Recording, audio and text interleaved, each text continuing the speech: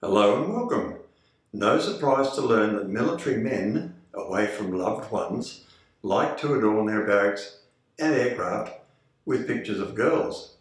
I suppose this reminds them of what they are fighting for, or perhaps it is a promise of home. Many a flyboy carried pictures of wives and sweethearts with them or in their plane. Strange though, I can't think of a single instance when military women posted pictures of men on walls. Many a female movie star featured on barrack walls, which was one way to self-promote. Posters could be used to encourage men to sign up or even encourage patriotism. Some military commanders, such as General George Patton, forbade soldiers hanging pin-ups in their barracks.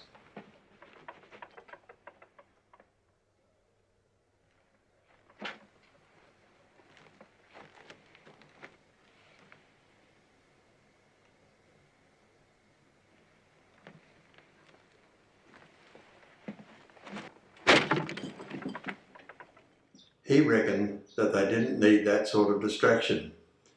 What do you think? Leave a comment. Here are some of my favourite retro pin-ups.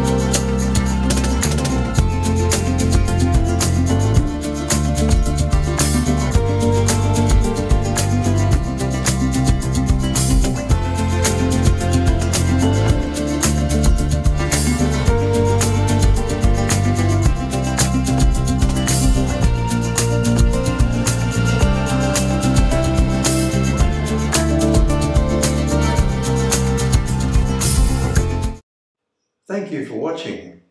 To promote content, please like, subscribe and hit the notify bell.